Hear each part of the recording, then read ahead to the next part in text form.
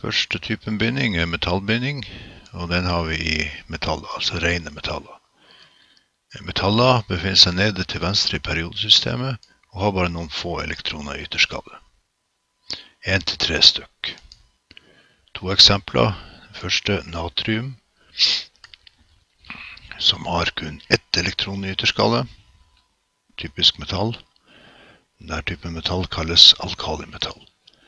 Aluminium, et annet metall, har tre elektroner i ytterskallet. Så i et metall så vil elektronene flyte rundt atomkjernene og binde atomene sammen. Og denne eh, bindinga kalles for metallbinding. Vi sier at atomkjernene i metallene flyter i en elektronsjø, og det har vi et bilde av her. Vi ser at uh, atomkjernene som er pluss, uh, ligger inntil hverandre her i et uh, hardt, robust, fast mønster, mens elektronene flyter rundt. Og det er det som gjør at metallene har de egenskapene som de har. Ja, Vi skal se litt på hvordan metallbindinger avgjør egenskapene til metaller. Dette er jo snakk om metaller som bare inneholder det metallatomet. Noen av egenskapene er eh, tatt med her under. De leder strøm godt, og det gjør de fordi de har mange frie elektroner som kan slippe strøm gjennom. De leder også varme godt, fordi elektronene også bidrar til å fordele varme. Så hvis du sammenligner eh, en stein og en bit med jern, og varme steinen opp, og jernet opp, så vil eh, det gå mye kortere tid før jernet blir kaldt enn før steinen blir kald. Likedan, hvis du varmer opp metallet på ei side, så vil varmen fordele seg utover i metallet fort. Det samme skjer ikke for stein eller andre stoffer. Eh, hvis de fleste metaller har blanke kuttflater hvis du skjærer i dem. Eh, en del metaller har eh, blank overflate uansett eh, andre metaller.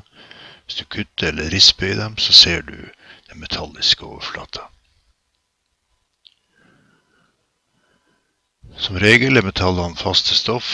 Det finnes et unntak. Det er kvikksølv, og det er flytende. Det er ganske spesielt stoff. Metallene kan også hamres flate og tvinnes til tråder. Eh, også egenskaper som har med metallbindinger å gjøre. Og vi ser eksempler her på metaller. Gullmynter. Gull har jo glatt, fin overflate, typisk metallisk. Gull eh, kalles et edelt metall fordi det ikke ruster. Og gull blir ofte brukt til pynt penger, ringer ja, og smykker. Kobber er et annet metall. Der benytter man en annen egenskap med metallene, og det er at de leder strøm veldig godt. Kobber leder strøm godt, og for at ikke strømmen skal spre seg, så bruker man ofte å isolere kobberledningene. Kobber er ikke det stoffet som leder strøm best av metallene. Det er gull, og så kommer sølv. Men det leder veldig godt og koster ikke så mye. En annen god egenskap ved kobber er at når du har tvinnet det ut til tråder, så kan du bøye de, de ledningene du får, ganske lett. Det kan likevel være ganske stor forskjell på metallene. Noen metaller, hvis du lar dem ligge, så ruster de og blir på en måte borte. Sånn som jern. Du tenker på jern og ikke stål kobber, irre, det blir grønt. Aluminium får ei overflate som blir matt av det beskyttede aluminiumet. Men eh, det finnes også ekstreme eksempler på metaller. Metaller som ruster så fort at eh, de brenner opp.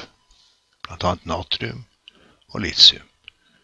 Så det kan være ganske stor forskjell på metaller. Likevel så sier man at de egenskapene som er oppsummert her oppe, er felles eh, for metallene. Vi skal ikke gå noe særlig mer inn på metallbindinga her.